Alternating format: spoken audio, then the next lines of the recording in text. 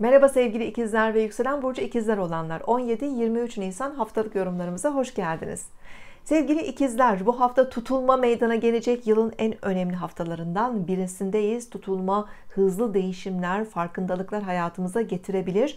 Koç burcundaki güneş tutulmasının detaylarını anlattığım videoyu Demet Baltacı YouTube kanalımda izleyebilirsiniz.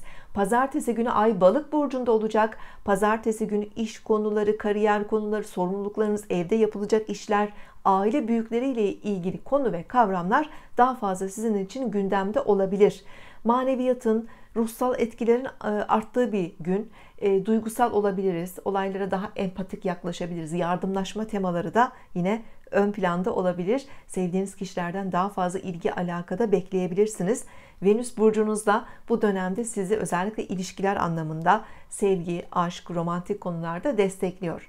Parasal kazançlarınızda da önemli fırsatlar karşınıza çıkarabilir. Güzellik, estetik gibi, kişisel bakım gibi işlerinizi de hafta başı itibariyle daha rahat yapabilirsiniz. Salıdan itibaren Ay Koç burcuna geçiyor.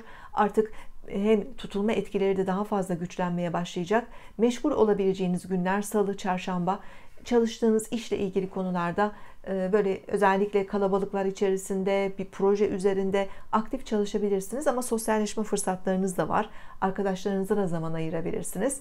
E, Perşembe öğle saatlerinden itibaren Ay Boğa burcuna geçecek. Biraz içe yönelişler, biraz sakinleşmek istiyoruz. Zaten Perşembe günü Güneş tutulması var. Tutulmanın olduğu e, gün çok da önemli kararlar vermemekte fayda var. Hemen ertesi gününde ayın 21'inde Merkür, gezegeniniz Merkür Boğa burcunda gerilemeye başlayacak.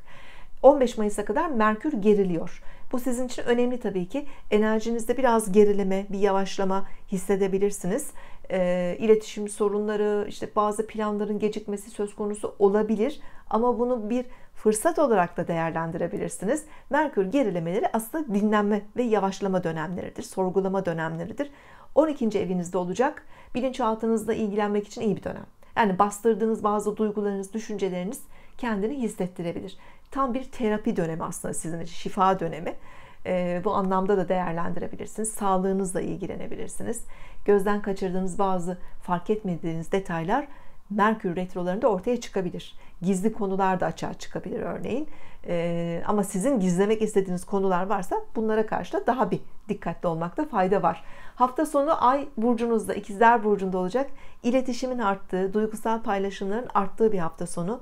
Sosyal enerjiler de güçleniyor. Yakın çevrenizle daha fazla paylaşım içerisinde olabilirsiniz. Seyahatleriniz, gezi planlarınız da olabilir tabii ki.